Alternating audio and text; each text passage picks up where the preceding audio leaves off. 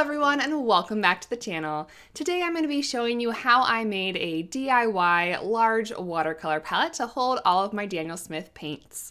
This became a necessity after I did my Daniel Smith swatch with me video. My palette was already pretty stocked full of colors and then a wonderful viewer named Catherine sent me some more colors that I didn't already have in my collection, namely some PrimaTek colors, and I needed a place to go ahead and store them all since a traditional palette would no longer do. The inspiration of this palette came directly from Arleesha from Arleebean, and if you haven't already checked out her channel, you should absolutely do so. She is a YouTube content creator as well as a Skillshare teacher, and she made a huge watercolor palette for her Sennelier watercolor set. So I took some of the things that she did in that video and I added a few of my own, and I'm gonna go ahead and talk you through the process today. I went ahead and found this box at Michael's. Uh, it's an art and craft store if you're not familiar with it already, if you're not in the country, and they sell a lot of unfinished wood products. I was looking something that had a really narrow profile so that I wouldn't have to lift my arm up considerably high to reach into the palettes, and this was the closest I could find. I was trying to decide if I should go straight across the top, if I should go along the side, what would be easier to paint with in actuality, um, which direction the pans fit if they needed to be horizontal horizontal or vertical, and I'm just kind of testing out the waters here. So now we're going to get to the actual part of the video where we're constructing the palette to be functional for our purposes, starting with I am sealing the wood with Dorland's wax. This is a wax I got based on one of Angela Fehr's tutorials on how to uh, seal watercolor paintings on wood surfaces, which I absolutely love to do. And I thought I would go ahead and rub down the wood so that uh, water that would fall on it wouldn't seep into it and damage the wood over time.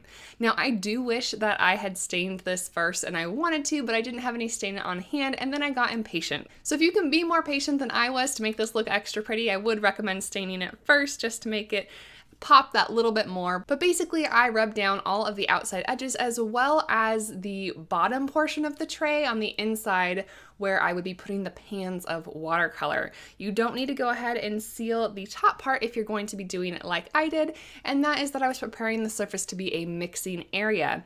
Now I have some footage of me using some indoor house paint that I got excited because it said the word enamel on it, and I know that you're supposed to use enamel paint to go ahead and coat some of these surfaces when you're using watercolors. What I did not realize is that it was indoor paint and really not suitable for use with watercolor. My second mistake was that I was using a paintbrush to apply this paint and I ended up with some really large streak marks. So lesson to be had, do not use indoor house paint for this and do not use a brush if you can help it. What I ended up using after I filmed this segment of the video was the Rust-Oleum Gloss Protective Enamel. Unfortunately, I don't have any footage of me using this product because I had to do it outside in a well ventilated area and the lighting out there was absolutely atrocious. In short, go ahead and tape off the edges that you don't want painted. Go ahead and put out a nice protective surface like newspaper or a painting tarp and spray the lid as according to the instructions. On my can of paint, it said to do two coats fairly uh, close together in time, just a few minutes apart, and that they should be light and uh, little spritzes. So I did two layers on top of the paint that I already have. You might want to do three if you don't have a primer on your wood first. After that, go ahead and let it dry for at least 24 hours, and this is what it will look like. It is really, really glossy, and again, if I hadn't used that paintbrush, it would have been a nice smooth surface. As it stands right now on my version, I have those little grooves that are a little bit annoying to mix paint over, but it's not the worst thing in the world. Then it came time to adhere my pans to the surface. If you watched our Arleesha's video, she used adhesive little pads to stick down her pads, and I will say up front that is absolutely the more secure way to do that. Um, so if you want something that's just really, really solid, that is going to stay down there for a long period of time, go ahead and use adhesive. I use Zots in a lot of my other palettes, and I believe that all those are listed in my Amazon influencer shop. What I wanted to do for this one is make magnetic strips so that I could switch around the paints if I get more in my collection because you know me and I don't like to have my paints out of order, so I'd want to be able to move them around. The problem with that though is that all of these little tiny magnet products don't have great reviews in terms of their stay power. And I learned firsthand that uh, they're not super, super strong. What I did is I got these little strips of magnetic tape, and then to put on the bottom side of the pans, I got this product called Bull Pull Magnets. So the problem with these two magnetic products together is that the magnets don't necessarily stick evenly to every part of the tape on the bottom of the box, and so the pans don't always want to sit nice and snugly where they're supposed to. Luckily, the adhesive, I guess luckily, the adhesive isn't that strong on these half pans and you can actually pull the magnet off, reposition it, and then put it back down on the strip to make sure that they are lining up flat. So as you're gonna see here in just a second, these are not going to be secure enough to travel with. This is a studio palette. I don't know why you need to travel with so many colors anyway, but the magnets are not very strong, especially on the end of the connection strips there. They do stay well enough that if you don't bang it against something, the magnets will hold in place. Another problem that I had with these magnets is that the edges of the tape wanted to curl up. This comes in a roll, so the magnet naturally wants to kind of have a curvature to it. So I did have to use super glue to go ahead and adhere the rows of magnets down to the wood surface. So I did that for every row. You can see here, just putting down some super glue, making sure it sticks a little bit, making sure to the other side, holding it down until it dried, and then moving forward. So this was a very laborious process and it really just depends on your own preference on if you want to be able to move these around or if you just want to use the adhesive dots. I think in hindsight, maybe next time I do something like this, I would maybe choose adhesive dots, question mark. Um, I do love how easy it is to rearrange the pans and you can see me doing that here where I had to move a couple things around and I was able to lift them up, scooch them down and had no problems with that at all. I will say here that I do want to go ahead and at some point attach some kind of like retaining wall to the last row of pans. I think that would be really, really helpful in getting them to stay nice and put. So I'll probably pick up like a little wooden dowel or something of the like to go ahead and glue into the palette uh, to keep this last row of colors intact. Finally, I had this teeny, teeny, tiny little gap on one side of the pans, and it just so happened that the magnetic tape that I had was the right thickness to fill that gap, so I wasn't using the magnetic properties of this, but I did go ahead and use an extra strip of this to line up on the right side of the box here, and that let the final row of pans or column of pans fit nice and snugly down into this set. Now it is time for the moment of truth, and I really should have tested this out before I did all of the work to put the pans in the box, but spoiler alert, it did work out fine. Here you're gonna go ahead and see me testing the mixing surface here, first with ultramarine blue and then with phthalo blue. You can see that it started to bead up, which is pretty typical of enamel surfaces on your metal tins or on plastic palettes, so it didn't really bother me all that much. I can say that I did a full painting after I recorded this video and it did just fine in that and it ended up sticking to a larger portion of the palette and you'll see that in the next video so be sure to come back for that. The second moment of truth was to make sure that the paints did not stain the enamel so when I go ahead and wipe this off you're going to see that the ultramarine wiped clear away and there was absolutely no staining whatsoever. The phthalo blue is a staining color and it is expected that it would stain but you can see here the staining is pretty minimal so I'm really excited for the prospect of this and of course I have more of this spray paint, so if it ever gets stained too bad, I can just protect all the other surfaces and go ahead and put some more paint down. Here I'm just showing you some brushes that fit in this box, so if you wanted to keep them in here for storage purposes on your desktop, or if you end up making this with, with adhesive instead of magnets and wanted to travel with it as a plein air set, mini brushes will fit. A lot of the really large rounds don't, but all of my other types of brushes, uh, size like six and smaller, fit with no problem. You may have noticed when I was putting some of the pans into the box that I was stopping to write some pigment numbers on the side, um, but the most important part is, for me at least, is to make sure I know where each and every color is, especially because this is such a large set and I don't know every color in here because a lot of them were gifted to me as samples. I wanted to go ahead and make a color chart, so I'm showing you here how I do that. So the first step for this is to take a piece of paper that is the same size as your pans, and then I go ahead and line up that paper and then put little tick marks where each of the pans intersect all four sides of the paper. Then I use a ruler to connect those lines. And then I have a true to life grid of all the colors that are in this palette. I had mixed thoughts on whether or not I wanted to go ahead and show you the swatching of this card because I just did the Daniel Smith swatch with me video, so you've probably already seen most of these colors, at least aside from the new ones that I acquired. And I didn't want you to be bored to tears or anything like that, but I do want to mention a couple things that I did differently.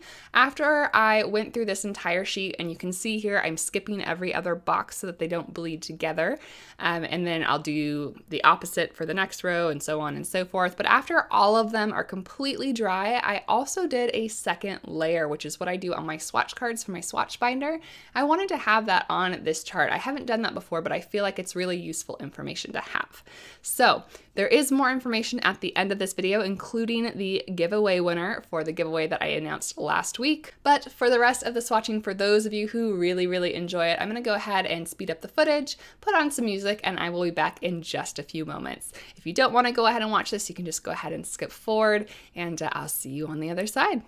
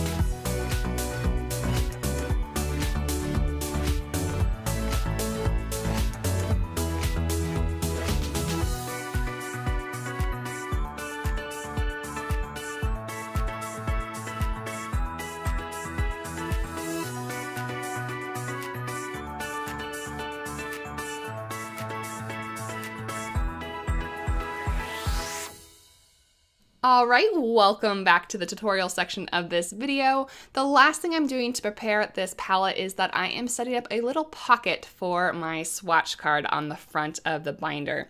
I'm doing this by taking a Ziploc bag or a binder sheet clear protector thingy um, and cutting that down to size with a self-healing mat, a ruler, and a uh, box cutter or an X-Acto knife. And that way I have a nice little pocket that my card can sit in. Now the reason that I am making this little sheet instead of just laminating it with packing tape like I typically do for my smaller sets is that there are still spaces on this card that can be filled in and I want to be able to make sure that the uh, sheet of paper can grow with me. So you can see here I adhered it with some washi tape, which I wouldn't recommend for sticking to the wood itself because it doesn't stick all that well. If you do have a suggestion for me on what tape to use to adhere this to the box, I don't know if I should just use packing tape or if I should try a different type of decorative tape, let me know what you think in the comments below. So we're gonna go ahead and do a little bit of an overview of what the video was as well as showing you here the finished product. And that is that we have our large palette box here with the complete swatch card on the front side with its little protector and everything. When we open it up, we have all of our pans on the magnetic strips, but you can also use adhesive dots if you want it to be more secure. Um, as I mentioned earlier, I do want to get a little retaining wall to go ahead and put in there to keep them a little bit more secure. And you could also use this area for either more pans or storage of your brushes or other supplies. On the inside lid here, we have a gloss enamel paint. You can find all of the products that I used for this video in the description below. And uh, I wanna thank you guys so much for watching this video. So I hope that you find this video useful. Again, make sure to check out Arleesha's channel if you haven't already, who gave me the inspiration to go ahead and make this palette myself. But before you go, I do owe you a winner of the 15K giveaway that I hosted last week for the Colors of Nature watercolors. And the winner is Lego Ducky, who I have already contacted and worked out arrangements to deliver the new set of Colors of Nature watercolors. But I do want to thank each and every one of you for your comments. I know I wasn't able to reply to each and every one because there were just an absurd amount of them. There were over 500 unique commenters on that video, but I did read every single comment and they just warmed my heart to hear about your favorite videos on the channel. So thank you so much to each and every one of you who makes this community just incredibly amazing. I have so, so, so enjoyed having you here along my watercolor journey and look forward to sharing many, many more memories with you. Thank you, of course, to my patrons over on Patreon who are making it possible for me to keep this content going. If you haven't already heard, we have met our stretch goal of restarting the Color Spotlight series, and every single one of my patrons, regardless of the pledge level, get to vote on the colors that are going to be featured. So if you would like to have a voice in that, go ahead and head on over to Patreon and see if there's something there that strikes your fancy. Until next time, I will see you in the next video and happy painting.